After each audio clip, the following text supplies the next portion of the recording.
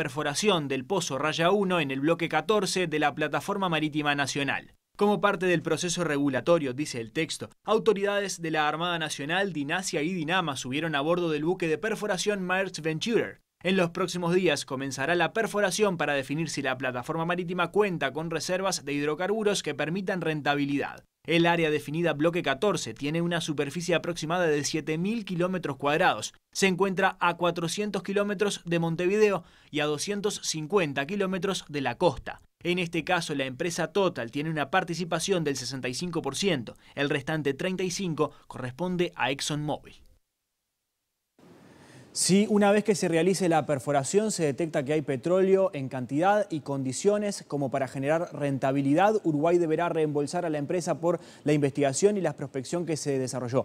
Si por el contrario se detecta que no hay eh, una empresa que lleve a la rentabilidad, es decir, no se encuentra petróleo o se encuentra en condiciones que no generen certezas al momento de explotarlo, los costos van por cuenta de la empresa, en este caso la francesa Total. Vamos a ver el barco que contrató Total a propósito, que es de Maersk eh, Company, el Maersk Venturer, así se denomina este barco, que es una de las 22 unidades que tiene la flota de Maersk, una de las empresas, uno de los grupos empresariales más importantes en este rubro.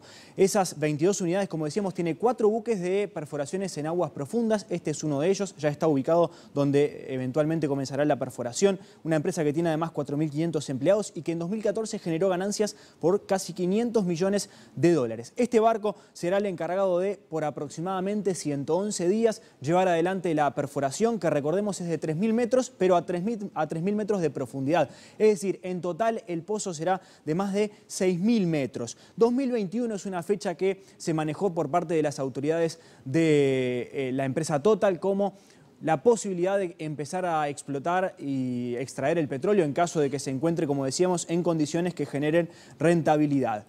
Vamos a conocer a continuación más detalles sobre este emprendimiento que ya tiene al barco ubicado en la zona donde se desarrollará este pozo para saber qué hay en, ese, en esa zona donde se presume puede haber gas, petróleo o incluso agua.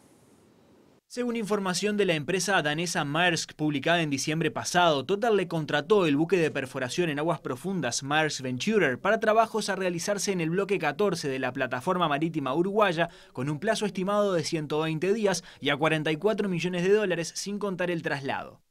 En aquel momento el CEO de Maersk destacaba sus frecuentes contratos con Total y saludaba el nuevo emprendimiento. El buque cuenta con un avanzado sistema de control de posicionamiento que le permite mantener su ubicación en zonas de condiciones desventajosas, con olas de hasta 11 metros y vientos de hasta 26 metros por segundo. Ya están en los trabajos preparativos y probablemente la próxima semana comience la perforación, que será la primera en 40 años en la plataforma uruguaya. La anterior fue en 1976, pero de menor envergadura. Las autoridades de la francesa Total no han dudado en señalar que será uno de los trabajos más importantes de perforación. Podría haber un elefante ahí, eso es lo que buscamos, señaló a la agencia Bloomberg Christian Tichatske, el director del emprendimiento en Uruguay, y agregó, es un proyecto riesgoso, pero creemos que podemos encontrar algo.